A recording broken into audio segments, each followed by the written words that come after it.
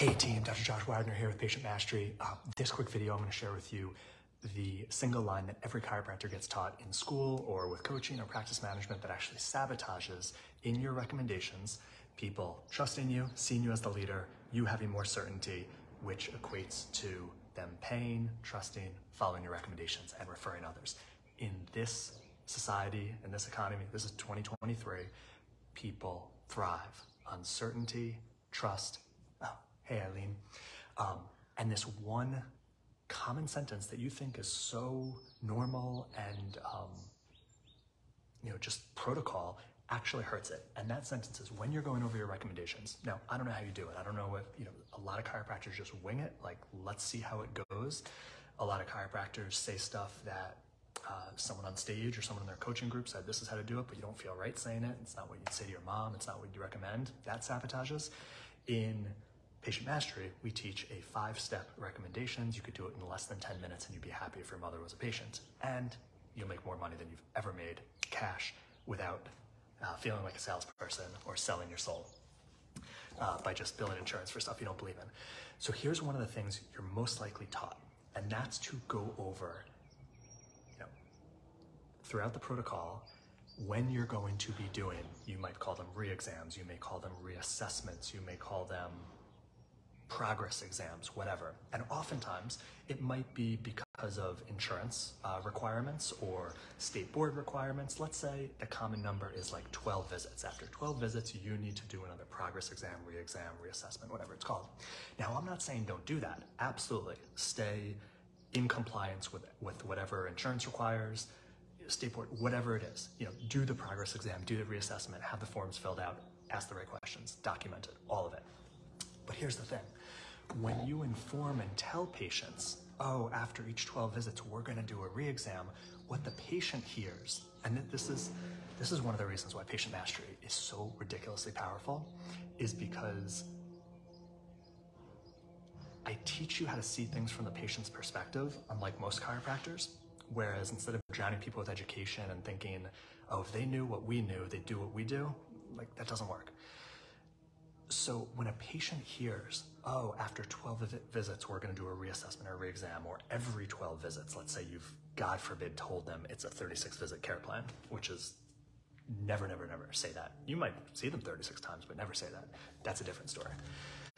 But when you say, we're going to re-exam, immediately what that's planting in the patient's mind is, okay, we re-exam after 12 visits, that's what the doc said, but visit 1 through 11, the doc doesn't really know what's going on in my case. And that's when they feel like they're just cattle going through a conveyor belt in your practice, which is the last thing, you know, chiropractors get that bad name for like, oh, it just seems like a conveyor belt. Whereas patients need to feel and think, and rightfully should, feel that on every single visit, you know exactly where they are in the process, in, the, in their healing progress, um, that you're on top of it. It doesn't mean you're going to have to have a whole discussion about it. But the second you say at these markers, maybe it's six or eight for you, maybe it's 12, maybe it's 16, I don't know, but 12 is common. When you say we're going to re-exam, reassess, progress exam, you are telling them that you have lost certainty or you just don't know between visits 1 and 11 or between 13 and 23.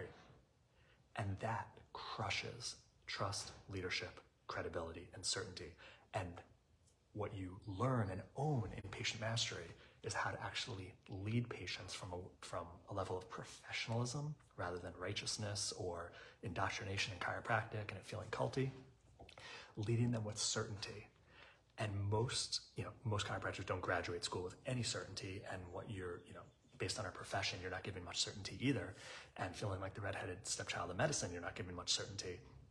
So when you incorporate certain communication principles and own and believe in whatever services you're providing, which hopefully you do, you see leadership, trust, certainty skyrocket, which immediately leads to retention, conversion, paying out of pocket, even when they thought or hoped insurance would cover it, referrals, and continuation.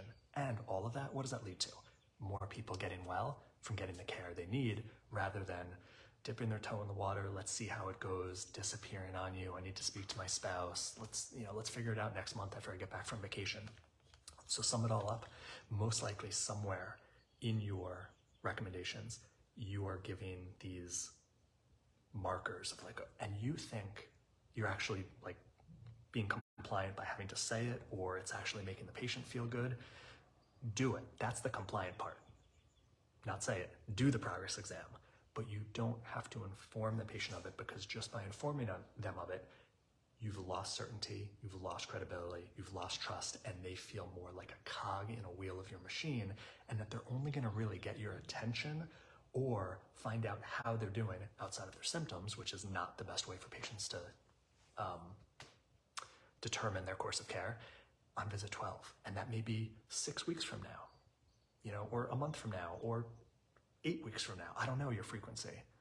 So literally, you don't have to change anything else. Just don't mention progress exams, re-exams. Still do them, and there's a whole process for doing those really well. You know, you let the person know. Um, you let the person. Let's say you need five minutes, ten minutes, fifteen minutes more for that exam. Just let the person know on the visit before. Hey, on your next visit, we're doing something special. Um, you know, front desk knows you're going to be here another five minutes, ten minutes, fifteen, whatever it is for you. So, keep it simple. Drop saying that in the recommendations and your trust, leadership, credibility will increase. Um, that's what people. That is what people today pay for: leadership, certainty, trust. Are you delivering that in your consult, in your recommendations, in your uh, in your in your exam, or are you just feeling like a scripted robot, saying stuff you said for 20 years and goes right over the people's heads, causes them to feel confusion, and then retreat? When you let go of 80% of what you've been taught to say and learn the patient mastery proven process, you will get paid so much easier, help so many more people, and practice will get so much easier because when you see people